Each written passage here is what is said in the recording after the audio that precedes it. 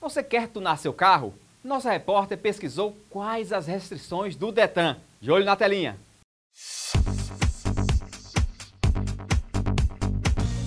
Pensou em tunar o carro? Então corra principalmente para a Resolução 292 do Conselho Nacional de Trânsito, o CONTRAN, para ver quais são as restrições e também quais as alterações que precisam tanto da vistoria do Detran como do certificado do Inmetro. Mas as principais limitações a gente já adianta por aqui.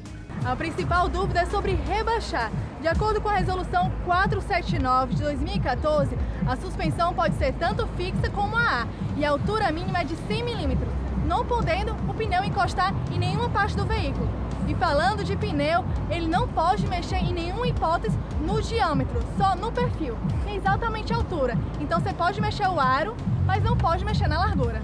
Quanto ao motor, a alteração de potência e cilindrada só é permitida até 10% a mais que o original. No caso da cor do carro, é considerada alteração quando muda mais de 50% do veículo, excluindo as áreas envidraçadas. Todas as alterações, seja spoiler, aerofólio ou outros acessórios, precisam passar pela vistoria do Detran, que custa R$ 78,88. Além disso, há um custo para alteração das características do veículo, por R$ 51,28. E pela alteração de dados, o valor é de R$ 35,50. Para mais dúvidas, entre em contato com o Detran.